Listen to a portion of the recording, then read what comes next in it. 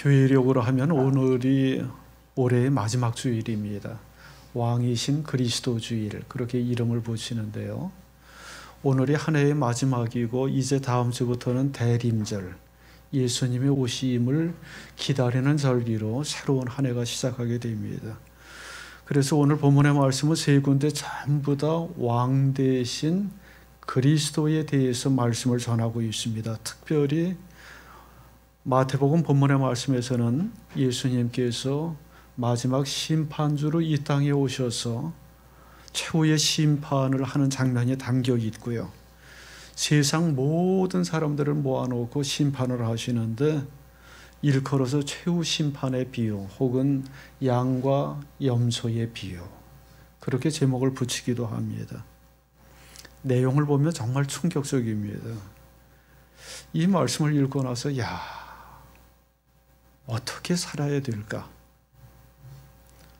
다시금 우리의 삶을 되짚어 보지 않을 수 없습니다. 비유의 분량이 상당히 긴데 내용은 아주 단순합니다. 여러분들 아주 잘 알고 있을 텐데 비유를 통해서 말씀을 하시는데 마지막 날에 예수님께서 온 세상 사람들을 모아놓고 심판을 하시는데 한 사람 한 사람 신문을 하면서 딱 둘로 나누는 거예요. 마치 목자가 양과 염소를 구분하듯이 모든 사람들을 딱 둘로 나누게 됩니다. 이런 비유를 들으면 당시 이스라엘 사람들은 너무나 쉽게 이해를 했습니다. 왜냐하면 매일같이 하던 일이기 때문입니다. 양과 염소가 비슷하게 생겼잖아요. 그런데 조금 기질이 다르고 그래도 뭐 먹는 것이라든지 기타의 습성이 같으니까 낮에는 전부 함께 풀어놓아서 방목을 합니다. 같이 어울려 다니면서 풀을 뜯어 먹는데 해가 기울어지고 우리에 들어갈 시간이 되면 둘로 딱 나누는 거예요. 왜냐하면 염소는 추위에 약합니다. 그래서 염소만 정확하게 출현해 가지고 좀 더 따뜻한 우리로 보내고 양들은 다른 곳에 수용하는데 목자들에게 있어서 양과 염소를 구분하는 것은 너무나 쉬운 일이에요. 우리가 보기에는 조금 어려울 수 있어도 그들이 보기에는 정확하게 둘로 분류할 수 있습니다. 예수님께서 그와 같이 마지막 날에 딱 둘로 분류를 해가지고 한쪽 사람들에게는 영생을 주고 다른 쪽 사람들에게는 영벌을 준다는 것입니다. 그 사이에 중간지대는 없느냐? 이렇게 물어볼 수도 있는데 오늘 본문에 의하면 연옥 같은 중간지대는 없습니다. 딱 두 쪽으로 쪼개집니다. 그러니까 그 자리에 임한 사람들이 얼마나 긴장을 하겠습니까? 뭐 우리 세계 인류의 역사 속에서 보면 집단 학살이 벌어지던 장면들이 있죠. 사람들을 잔뜩 운동장에 모아놓고 심사를 해서 딱 두 쪽으로 분류를 해서 한쪽은 사형에 처하고 한쪽은 훈방 조치를 합니다. 그런 경우들이 있는데 오늘 본문에서도 비슷한 장면이 펼쳐지는 겁니다. 그런데 주님께서 딱 두 쪽으로 분류를 하고 심판을 했는데 그 결과가 너무나 충격적이에요. 그래서 그 자리에 있었던 모든 사람들이 심판에 대해서 불복을 합니다. 붙을 사람이 떨어지고 떨어질 사람이 붙은 거예요. 야, 이건 뭔가 착오가 있겠다. 그런 식으로 전부 불만을 품고 어떻게 이런 결과가 나왔는지에 대해서 예수님께 항변을 합니다. 어, 요즘 대입 시험이 치러지고 있죠. 수능 시험을 본 학생들은 결과를 기다리고 있는데 발표를 하면서 예비 후보 몇 번 이렇게 발표를 하기도 하는데 예비 후보가 되었다가 하나씩 올라가서 붙게 되는 경우도 있고 영영 거기에서 낙방하는 경우들도 있는데 예비 후보라도 됐다가 붙거나 떨어지면 별로 그래도 아쉬움이 남지를 않습니다. 그런데 본문에서는 모든 사람의 예상을 뛰어넘는 결과가 나와서 붙을 사람이 떨어지고 떨어질 사람이 붙게 된 거예요. 그래서 모든 사람들이 그 결과에 대해서 깜짝 놀라면서 불복을 하는데 반전도 그런 반전이 없죠. 지난 시간에도 말씀을 드렸지만 마태복음 25장에는 세 가지 비유가 나오는데 전부 마지막 날에 이루어질 사건에 대해서 다루고 있습니다. 열 처녀의 비유에서 다섯 처녀들은 당연히 혼인잔치에 들어갈 줄 알았는데 거기에서 탈락하게 되었고 달란트 비유에서 한 달란트를 받은 정도 주인의 칭찬 정도를 기대했는데 자기가 가진 거 다 빼앗기고 쫓겨나게 됩니다. 오늘 본문의 말씀에서는 아주 더욱더 심한 극적인 반전이 이루어지는데 붙을 사람이 떨어지고 떨어질 사람이 붙게 된 거예요. 그러니 그 결과 앞에서 사람들이 얼마나 허망해하고 탄식을 하겠습니까? 그리고 그 결과 앞에서 야 내가 인생을 잘못 살았나 보다. 내가 목표를 잘못 잡았구나. 그렇게 탄식하는 마음이 들지 않겠습니까? 여러분 나폴레옹이 알프스 산맥을 넘어갈 때 유명한 일화를 알고 계시죠? 예, 그 장면을 멋있게 화가들이 그림으로 남기기도 했는데 어느 누구도 알파 저기 나폴레옹이 그 알프스 험준한 산맥을 넘어서 쳐들어오리라고 예상하지를 못했는데 나폴레옹이 군대를 끌고 그 산맥을 넘어간 겁니다. 넘어가는 고개 꼭대기에서 유명한 말을 남겼죠. 내 사전에는 불가능은 없다. 그렇게 얘기를 했습니다. 오래전에 우리 교회 어떤 집사님이 그런 말을 한 적이 있는데 내 사전에는 포기란 없다. 포기는 배추를 셀 때나 쓰는 말이다. 그렇게 얘기한 적이 있습니다. 나폴레옹도 아주 큰 소리를 썼죠. 내 사전에는 불가능은 없다. 그리고 그 험악한 알프스 산맥을 넘어가는데 문제는 병사들입니다. 병사들이 얼마나 힘들겠습니까? 자기는 말 타고 나귀 타고 올라가지만 병사들은 그 무거운 대포를 끌고 탄약을 싣고 낑낑대고 거기에 올라가야 되는데 뭐 시키니까 올라간 거죠. 그래서 꼭대기까지 탁 올라갔는데 그때 나폴레옹이 유명한 말을 하죠. 몇 달 전에 우리 교인들도 한번 히리산에 올라간 적이 있죠. 제가 선두에 서서 쭉 올라가죠. 헉헉거리면서 올라갔는데 어, 잠깐 쉴 때 제가 뒤따라오던 여집사님한테 물어봤습니다. 내 사전에 불가능은 없다. 내 사전에 포기란 없다라는 유명한 말을 남기신 여집사님인데 이렇게 물어봤죠. 힘들지 않으세요? 그랬더니 뭐라고 대답한 줄 아십니까? 아, 목사님 정말 체력이 대단하시네요. 제가 못 쫓아가겠어요. 좀 천천히 가세요. 이렇게 얘기할 줄 기대했는데 약해. 약해. 딱 그렇게 한마디를 하더라고요. 너무 약하다고. 이것도 등산하는 거냐? 응? 그것도 체력이냐 하는 식으로 약해. 걱정스러운 투로 얘기를 하더라고요. 나폴레옹의 병사들이 정말 힘들어서 나폴레옹의 뒤를 쫓아가서 산 꼭대기에 딱 올라갔는데 나폴레옹이 좌우를 둘러보다 하는 말이 여기가 아닌가비요. 그랬다는 거 아닙니까? 여기가 아닌가비요. 저 산인가비요. 그래서 대포를 다시 끌고 내려가지고 그 맞은편 산으로 낑낑대고 다시 올라갔더니 하는 말 아시죠? 여기도 아닌가비요. 아까 거긴가비요. 그래가지고 병사들이 아주 멘붕에 빠졌었다는 그런 유머가 있습니다. 우스개로 지어낸 얘기지만 만약에 우리가 인생의 마지막 날에 여기가 아닌가비요. 그런 일이 벌어지면 어떻게 되겠습니까? 내 인생에 불가능은 없다. 내 인생에 포기란 없다. 포기는 배추를 셀 때나 쓰는 말이다. 그러면서 나름대로 열심히 인생길을 달려와 가지고 나름대로 성과도 얻고 주변 사람들의 칭찬과 인정도 받고 성공했다는 평가도 받습니다. 이런저런 상들도 많이 받고 돈도 많이 벌고 좋은 일도 많이 하고 업적도 많이 쌓고 거기에다 신앙까지 좋습니다. 그래서 누가 보더라도 정말 그의 인생길 훌륭하게 달려왔다, 성실하게 살았다, 인정을 받는 사람이었는데 당연히 천공문에서 칭찬을 받고 합격 통지를 받을 줄 알았는데 주님께서 불합격 통지를 하신다면 잘못 찾아오셨네요.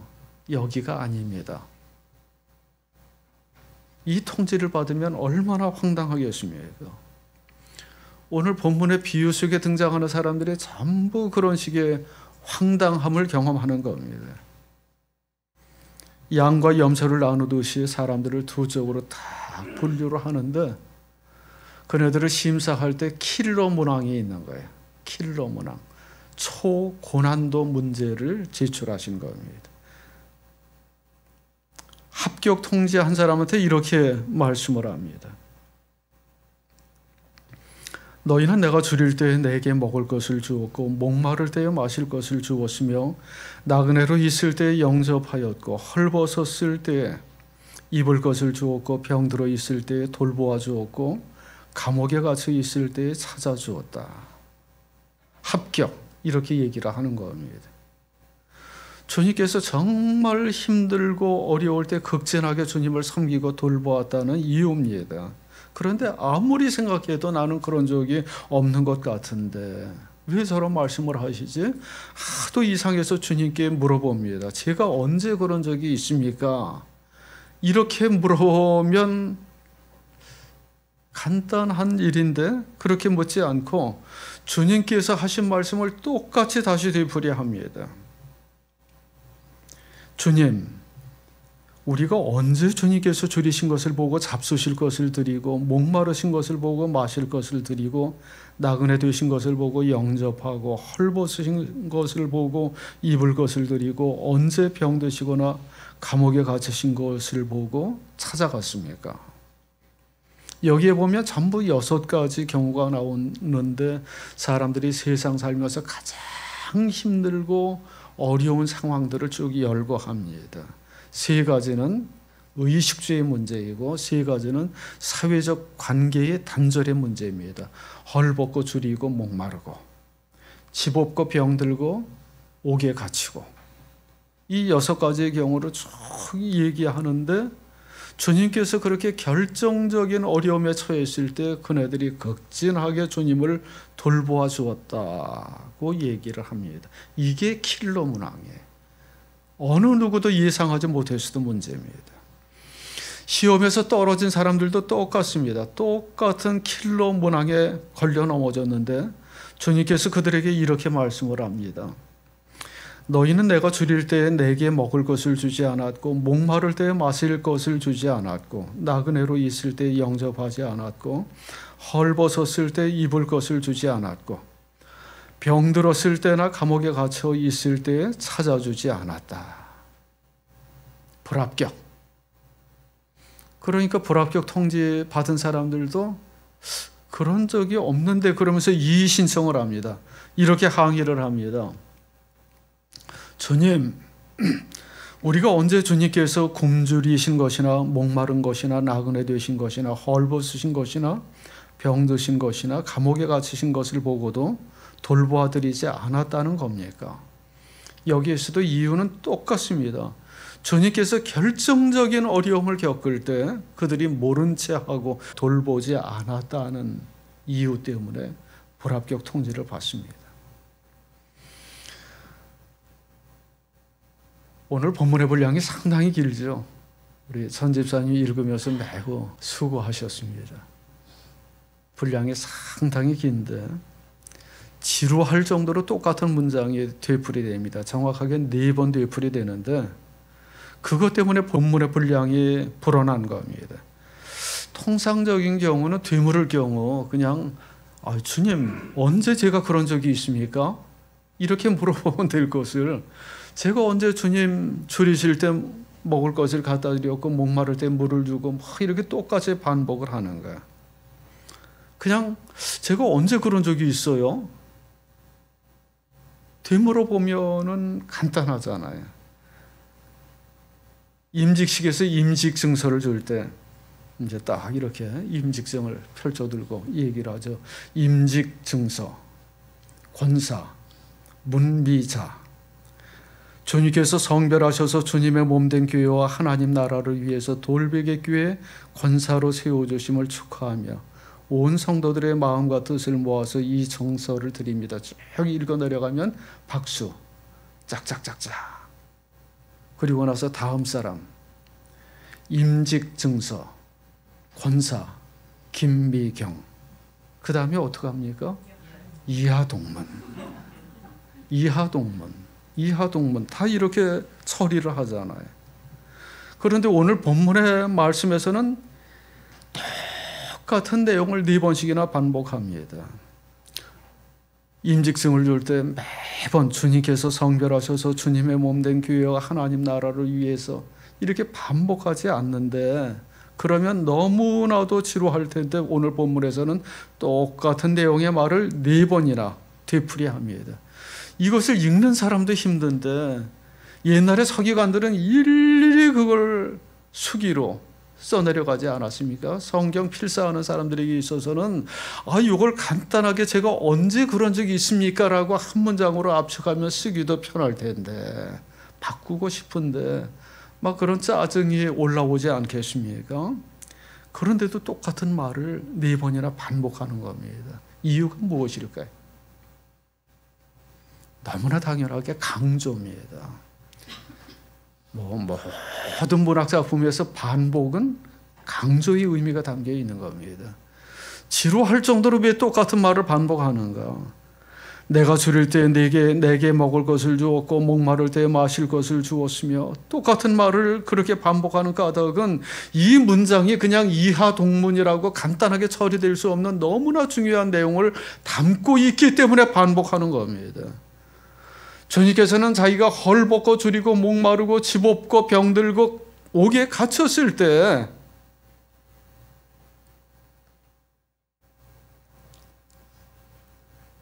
그들이 주님의 아픔과 어려움을 돌보고 챙겨주었다는 것.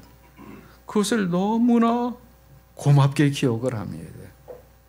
이 땅의 모든 어려움을 겪는 사람들이 겪는 고통을 자기 자신의 고통이라고 동일시합니다. 그래서 결론적으로 45절에서는 이렇게 말씀을 합니다. 내가 진정으로 너희에게 말한다. 여기 이 사람들 가운데서 지극히 보잘 것 없는 사람 하나에게 하지 않은 것이 곧 내게 하지 않은 것이다. 결국 최후의 심판대에서 킬로 문왕이 무엇인가? 지극히 작은 자들을 어떻게 대했는가? 그들을 주님 대하듯이 대했는가? 이게 킬로 문항입니다. 정말 충격적이죠. 주님께서 우리의 믿음에 대해서 묻지도 않았고 세례를 받았느냐? 구원의 확신은 있습니까? 하나님을 체험했습니까? 기도는 어느 정도 하십니까?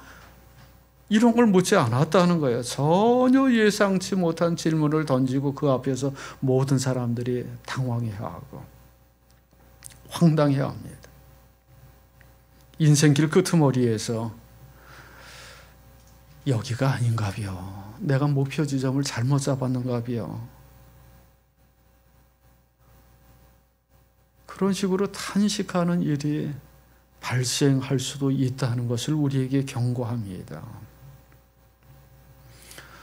오늘 말씀에 나오는 킬러 문항을 단순하게 생각하면 그리 어려운 일이 아니라고 여겨질 수 있습니다. 헐벗고 줄이고 목마르고 집 없고 병들고 옥에 갇힌 자들 내 형편껏 거들어 주는 것 도와주는 것 그렇게 어렵지 않은 일이고 길거리에서 구걸하는 거지한테 뭐 동전 몇 푼 던져주는 것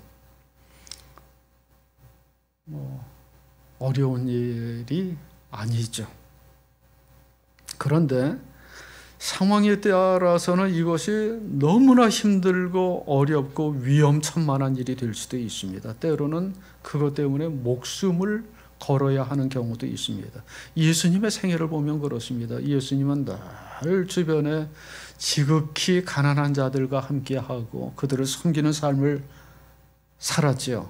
본문에 나오는 여섯 가지 경우에 처한 사람들 헐벗고 줄이고 목마르고 집 없고 병들고 옥에 갇힌 사람들을 늘 가까이 하면서 그들을 돌보고 챙겨 주었습니다.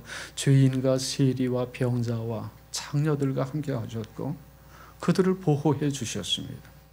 그런데 바로 그 이유 때문에 당시 지도자들로부터 엄청난 비난을 받았고 죄인과 세리의 친구라고 하는 공격을 받기도 했고 결국은 그것이 이유가 되어서 십자가에 매달려 죽으시게 되었습니다. 요즘 말로 하면 지극히 가난한 자는 여러 가지로 해석할 수 있습니다. 그런데 다른 한 가지 해석은 제외하고 그 나머지 해석만 하겠습니다. 지극히 가난한 자 그러면 당시 예수님의 복음을 전하던 선교사들, 사도들, 우리와 같은 성도들을 의미하기도 하는데 어, 그 해석은 이 시간에는 제외하고 일반적으로 봤을 때 지극히 가난한 자는 사회적 약자와 소수자를 일컫습니다. 그런데 그들을 도와주고 옹호하는 것이 결코 쉬운 일이 아닙니다. 올해가 일본에서 간토 대지진이 일어난 지 정확하게 100년이 되는 날입니다. 100년이 되는 해입니다.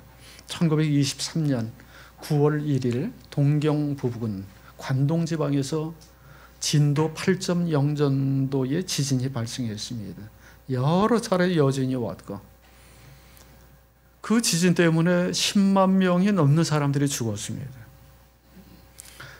9월 1일 정오 무렵에 지진이 발생했는데 마침 점심을 하기 위해서 밥을 짓고 있었던 난로들이 무너지면서 여기저기서 화재가 발생했고 그 며칠 전에 태풍이 한 번 왔다 지나가면서 강풍이 여전히 남아서 그 여세로 몰아붙이는 통에 순식간에 그 도쿄 전체가 불바다가 되었습니다. 그래서 도쿄 시내 40%가 불에 타서 사라져 버렸습니다. 건물 더미에 깔려서 죽은 사람보다 화재로 인해서 죽은 사람들이 많았고 화재를 피하기 위해서 커다란 대형 상고 건물에 사람들을 수용했는데 거기까지 불이 밀어닥쳐 가지고 순식간에 4만 명 가까운 사람이 떼죽음을 당했습니다. 난리도 그런 난리가 없는 거죠. 그래서 관동 대지진을 일컬어서 보통 관동 대진재라고 일본 사람들은 이름을 붙입니다. 왜냐하면 그것은 자연적인 재난이라기보다는 사회적 재난이기 때문입니다.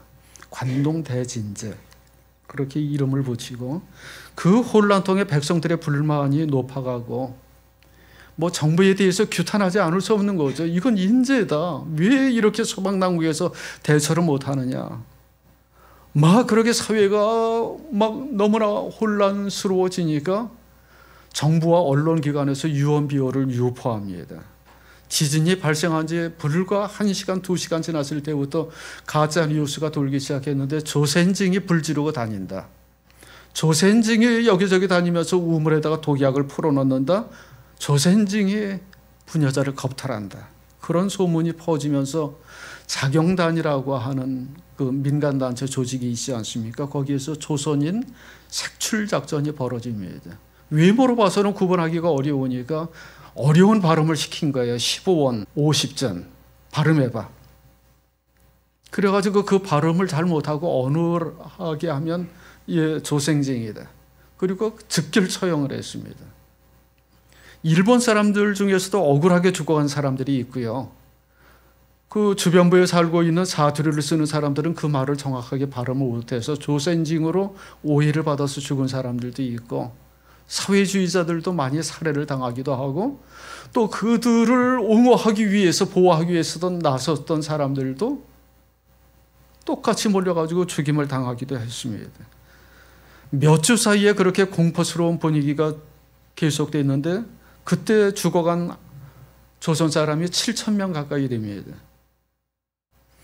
조선인을 희생양 삼아서 백성들의 불만을 잠재우려고 한 건데 이 사건이 종결된 이후에도 일본 정부에서는 한 번도 진상조사를 하거나 그거에 대해서 사과를 한 적이 없습니다. 지금까지도 그렇습니다. 아예 사실 자체를 부정합니다.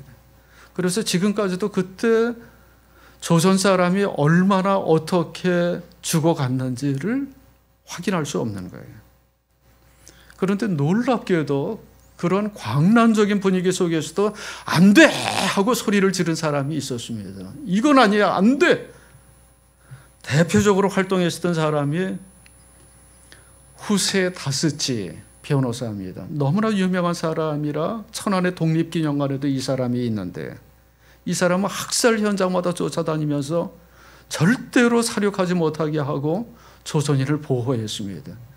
그리고 자기 집에다가 조선 사람을 피신시키도 했고 나중에는 진상 조사를 해서 관동 대진제 백색 테러의 진상이라는 보고서를 출판하기도 했습니다.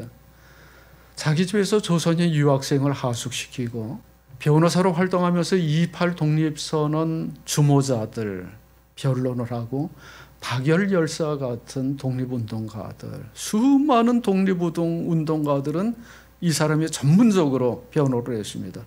그러다가 일본 정부의 미움을 받아서 자기도 치안 유지법 위반으로 두 번의 옥고를 치루었고 변호사 자격이 박탈되었습니다. 그리고 그의 셋째 아들도 반전 운동을 하다가 감옥에서 옥사를 하게 됩니다. 박열 역사 열사의 부인이 일본 사람인데 그 부인이 죽었을 때 부인의 유해를 박열 열사의 고향 땅 경상북도 문경으로 옮겨준 사람도 이 사람입니다.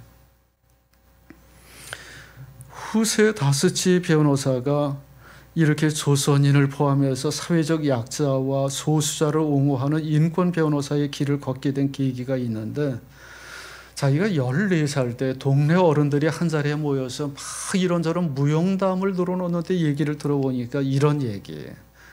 내가 동학 농민혁명 때 일본 군으로 참전했는데 내가 그때 조선 사람 얼마나 많이 죽였는 줄 알아? 또 어떤 사람은 맞장구 치면서 나는 말이야 청일전쟁 벌어질 때 평양 땅에서 중국 놈들 내가 목을 쳐서 죽인 게 몇 명인 줄 알아?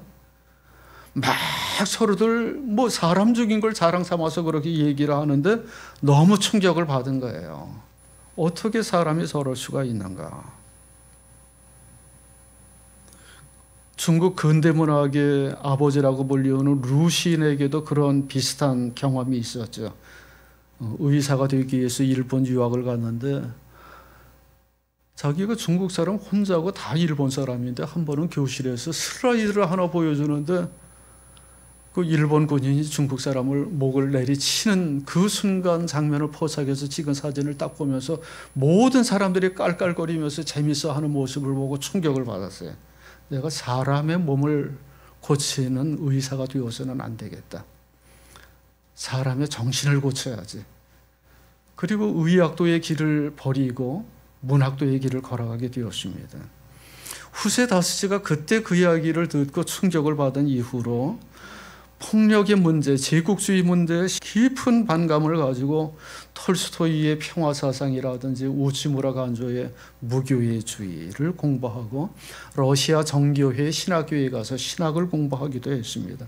나중에 법률가 되어서 1902년도에 사법고시에 합격해서 23살의 나이에 검사로 임명되었는데 자기 양심껏 판단을 하다 보니까 불기소 처분하는 게 많았고 그러다가 당국과 마찰을 빚다가 이 길이 내 길이 아닌가비요. 그리고 그때부터 인권 변호사의 길을 걸으면서 헐벗고 줄이고 목마른 자, 집 없고 병들고 갇힌 자를 위해서 살아가겠다고 다짐을 했고 한평생 그렇게 살았고 1953년도에 죽고 나서 저 묘비명에 이렇게 썼습니다. 살아서 민중과 함께 죽음도 민중을 위해서. 제가 말씀드리고자 하는 것은 어떤 사회에서나 주류의 길을 벗어나서 사회적 약자와 소수자를 옹호하는 것은 때로는 너무나 위험천만한 길이 될 수도 있다는 것입니다. 하지만 주님께서는 분명히 말씀합니다. 바로 그것이 마지막 날 주님의 심판대 앞에 섰을 때 여러분이 풀어야 할 킬로 문항이라고 말씀을 합니다.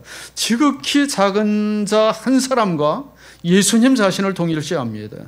세상에 많은 사람들이 힘의 논리를 추구하고 높은 자리에 올라가서 남을 지배하는 일에 골몰하지만 주님께서는 정반대의 길을 우리에게 제시합니다.